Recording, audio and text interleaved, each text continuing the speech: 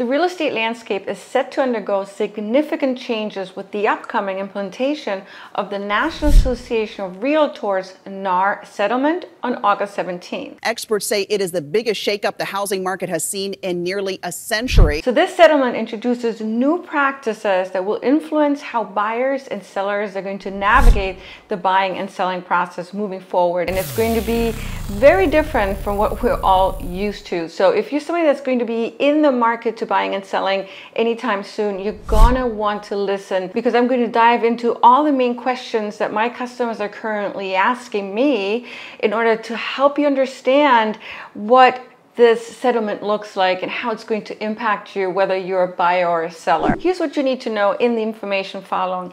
In the real estate industry, a real estate agent must be affiliated with a licensed brokerage to legally represent customers in the buying or selling of property. Now for this video, for simplicity's sake, I'm going to only reference the buyer's broker throughout, but I also mean the buyer's agent, both of whom typically receive a certain percentage of the total compensation payout. So if you've worked with the buyer's agent, let's just say the buyer's agent got 2% or 2.5%, that commission doesn't just go to the buyer's agent, it gets split, typically with the broker, and sometimes there's also royalty fee and some other fees. All right, let's get into the questions. How does the NAR settlement impact buyers? Does the buyer have to enter into a buyer-broker agreement before seeing any homes with the buyer's broker? Oh yes, this is a major change here. If the buyer's broker uses and lists properties for sale on an MLS, multiple listing service, you'll need to sign a written agreement before visiting any type of home together. This is to ensure transparency regarding the buyer's broker services offered and their costs. This also includes both in-person and live virtual home tours. Next question, does this imply that buyers are not obligated to engage a buyer's broker to purchase a property? No, you don't have to get a buyer's broker. Consumers have the choice to decide whether to utilize a real estate professional. But I can say this, that studies have shown that consumers greatly appreciate the services offered by a buyer's broker especially if you're somebody that's in the market for the very first time, or perhaps you're somebody that's purchasing out of state or maybe even out of the country. Maybe you're a luxury buyer. You have plenty of other things to worry about versus just trying to figure out the real estate market. There's going to be a lot of situations where it's going to make sense to get a buyer's broker to assist you in the process, but ultimately it's going to be your own decision. Is the buyer's broker compensation non-negotiable? The compensation is negotiable and absolutely not set by law. Will a seller need to offer a buyer's broker compensation? A buyer's broker compensation is not set by law. All agent compensation terms are entirely open to negotiation. That's the key takeaway here. Can a seller still offer a buyer's broker compensation?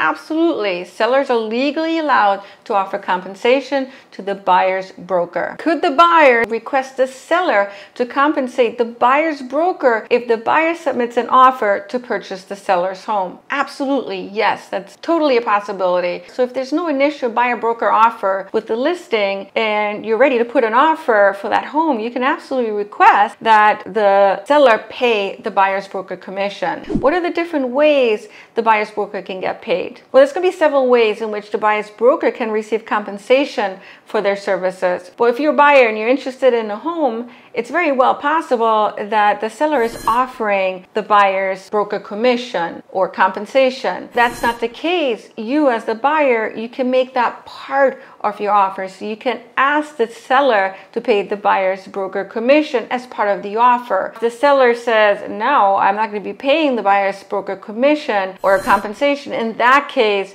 the buyer would be responsible to ensuring that the buyer's broker is getting paid based on what the buyer broker agreement is saying. But what happens if the seller's offers compensation to the buying broker is less than what was agreed upon in the buyer broker agreement. So in other words, let's just say you're a buyer, you have a buyer's broker agreement, it says 2% and you're interested in a home, the seller's offering 1%. In that case, you could ask, again, as part of the offer, that the seller include the additional 1% to the buyer's broker. And if that's not the case, if the seller says no, then you would be responsible to filling that gap. You would be responsible for the additional 1% to the buyer's broker. Next question If a listing agent arranges an open house or grants property access solely for the seller to an unrepresented buyer, will the buyer need to have a buyer broker agreement with that particular listing agent? And the answer is very simple no, not in this case. What if the seller offers higher compensation to the buyer's broker than what was agreed upon in the buyer's broker agreement? The buyer's broker cannot accept compensation from any source that surpasses the amount or rate specified in the agreement with the buyer. We're now going to pivot over to those questions that sellers typically have. Will a seller need to offer a buyer's broker compensation? No.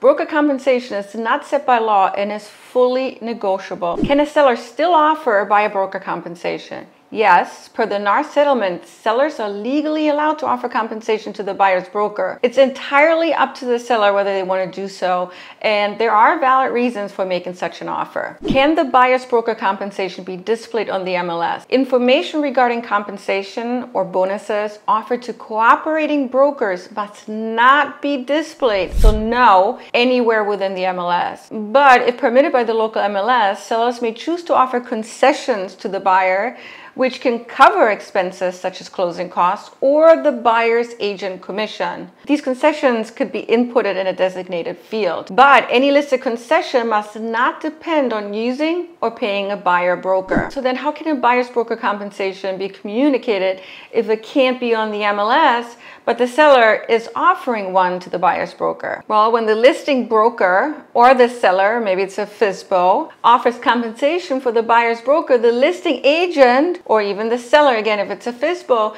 can share this offer through different marketing avenues, such as just having conversations about it with the buyer's broker, having social media posts go out, introducing it in flyers, signs, or emails. Also, a listing broker can share this information on their own own website. So how does this settlement affect the listing broker's compensation? Compensation remains subject to negotiation like it's been and it's not set by law and should always be discussed between the listing agents and the sellers. Could the buyer request the seller to compensate the buyer's broker if the buyer submits an offer to purchase the seller's home? Absolutely, that's a possibility and I think it's going to happen often. If the seller decides that there's not going to be a buyer broker compensation with the initial listing, it's very real to assume that a buyer that has a buyer's agent or a buyer's broker is going to be requesting that the seller pay for the buyer's broker in the initial offer that they're going to be putting towards the house. May not happen all the time, but I'm certain it's going to happen quite often. Why wouldn't you give that a try if you're a buyer? Could offering compensation to the buyer's broker increase the appeal of a seller's home to a potential buyer?